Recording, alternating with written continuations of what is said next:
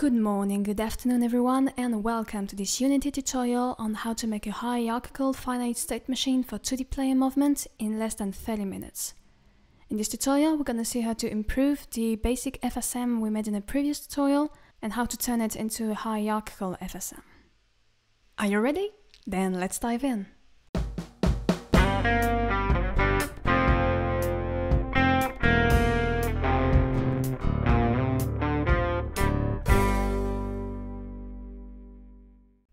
In a previous tutorial, we saw how to implement the state pattern in Unity.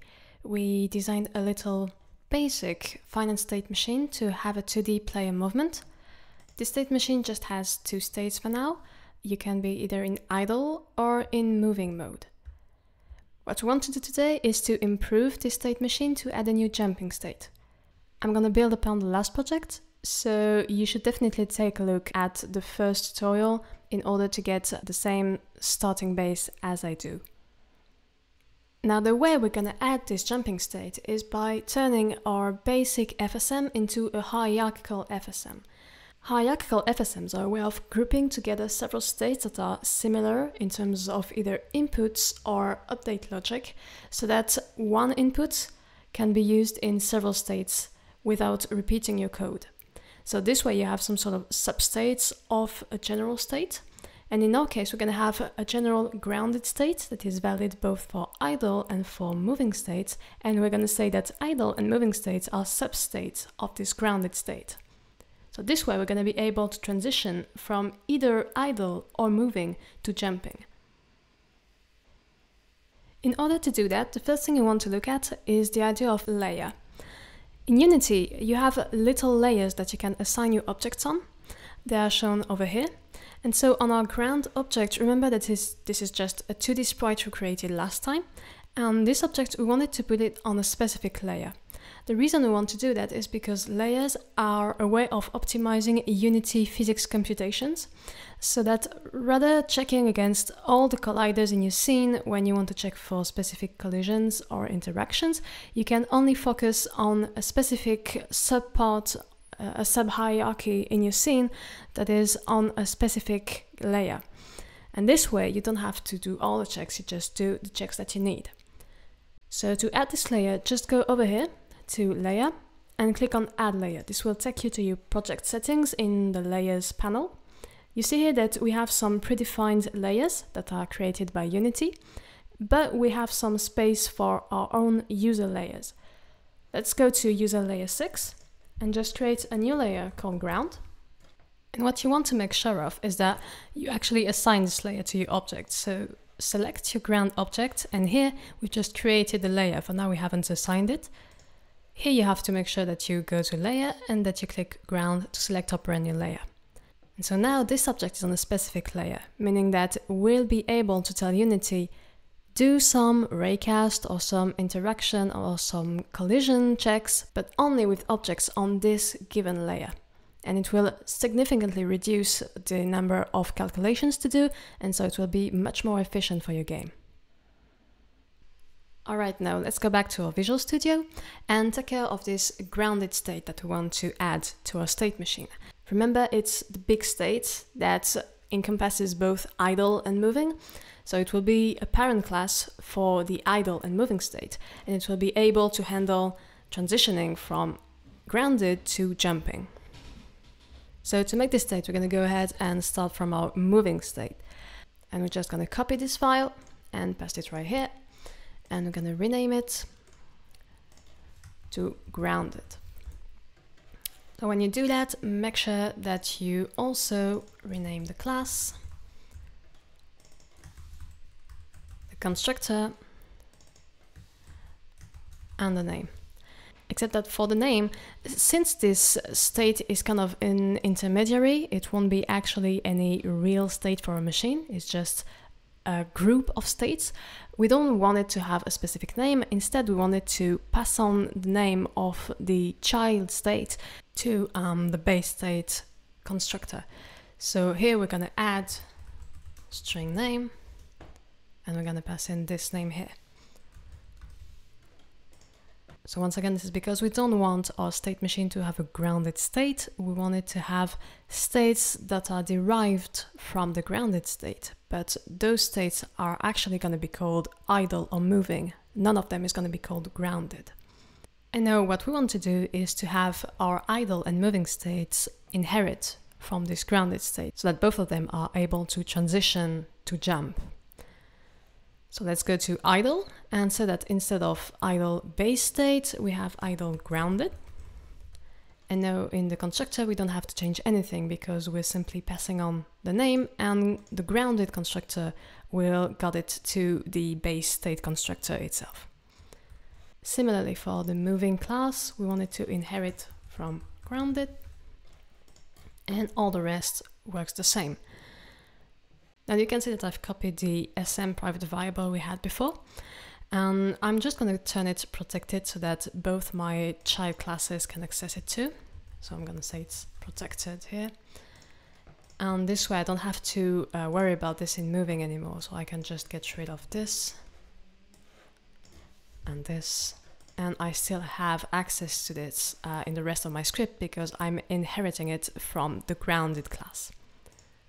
Alright, so the grounded class doesn't really care about horizontal input. It won't be touching our horizontal velocity. So we can get rid of that. And here, and we also want to remove this sprite renderer color initialization because the grounded state in itself doesn't change the color, it's only its child classes that will. We can also get rid of that and get rid of that for now. So for now you might think that this class is pretty useless because it's just basically repeating what its base class, so the base state class is doing.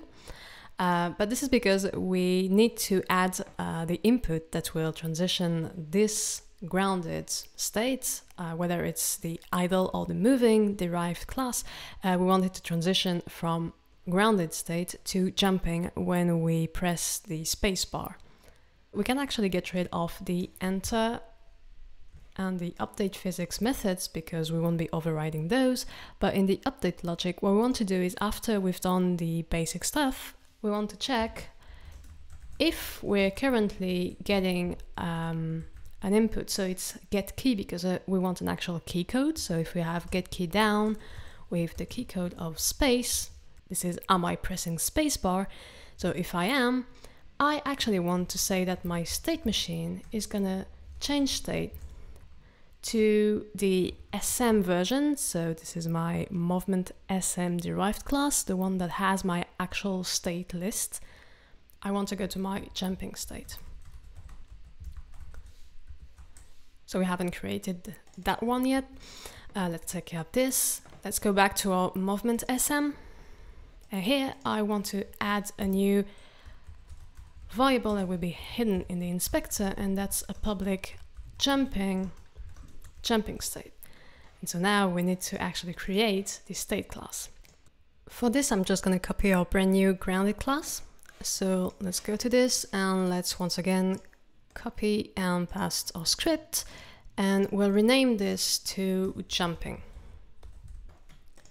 Remember to rename both the class and the constructor and here we won't be getting any name from a child class, so we revert back to our basic um, hard-coded value here. Alright, there are three things that we need to do. The first thing we want to do is update the logic so that um, if we are grounded, we go back to our idle state.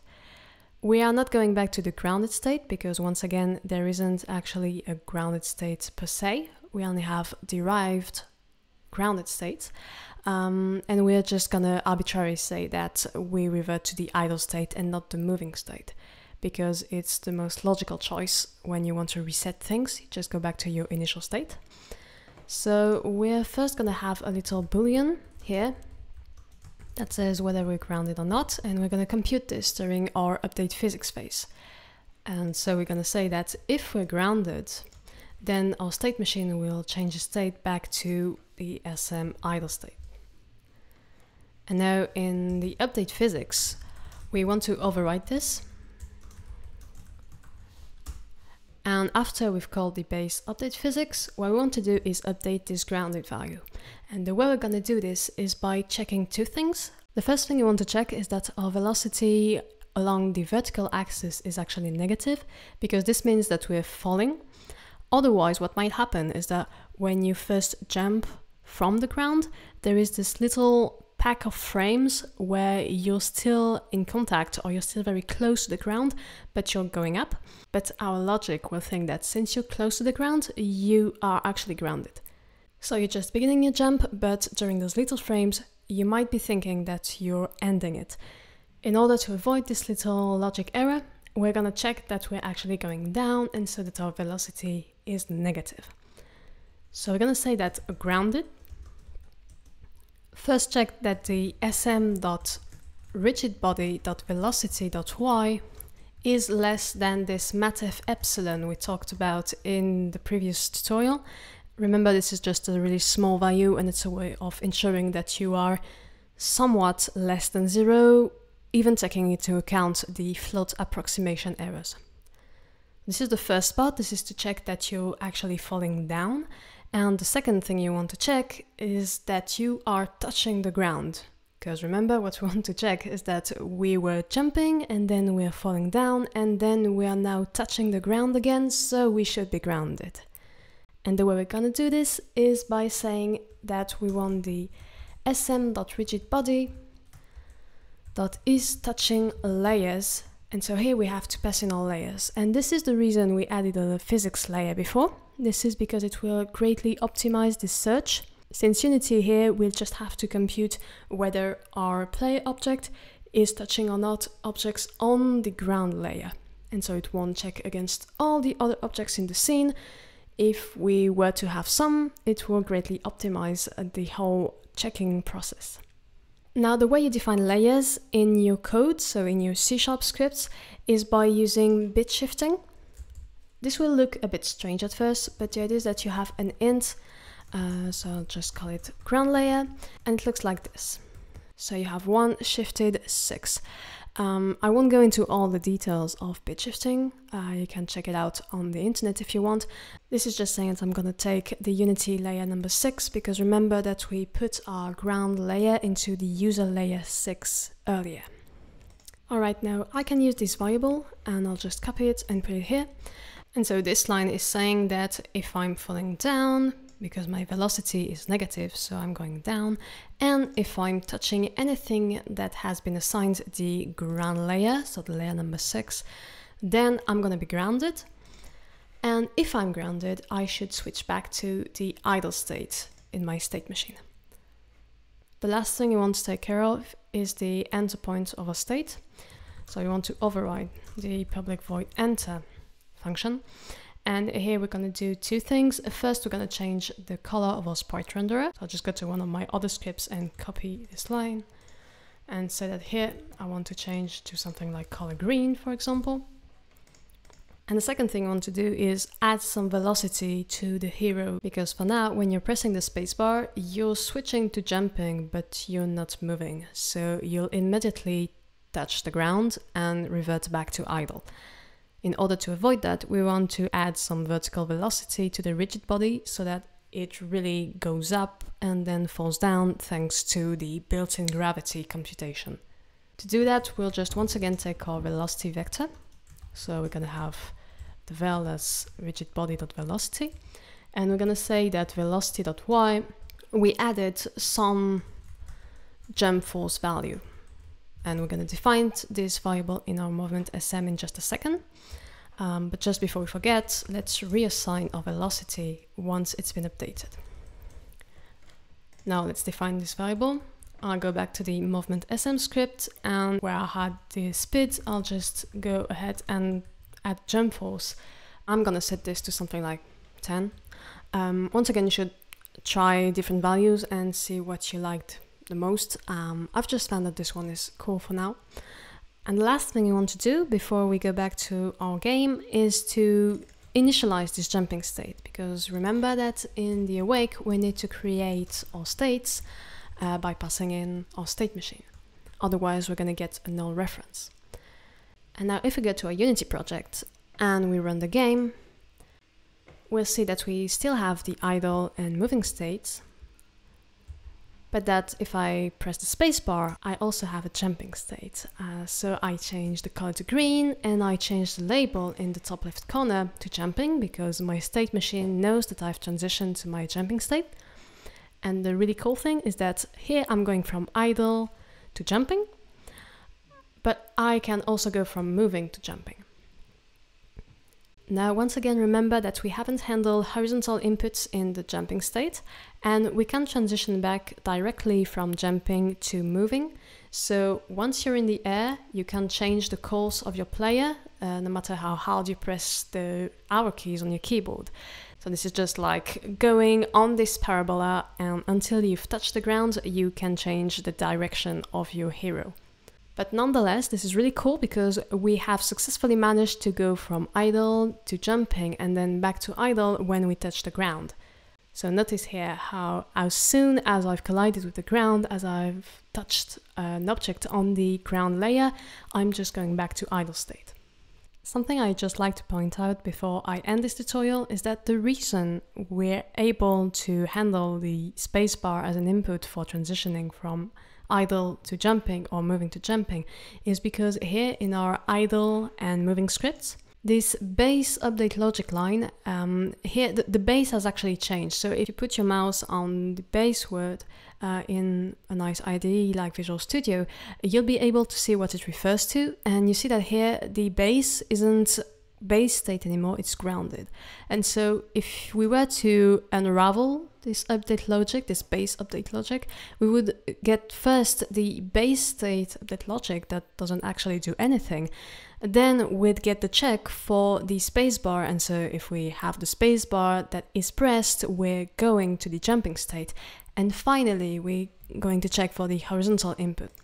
So this is the reason why this little lines actually encapsulates the fact that both moving and idle states are able to get spacebar input to transition to the jumping state. That's it for today, folks. In this video, we saw how to turn a basic finite state machine into a hierarchical state machine, and we used that to add a jumping state to our 2D player movement.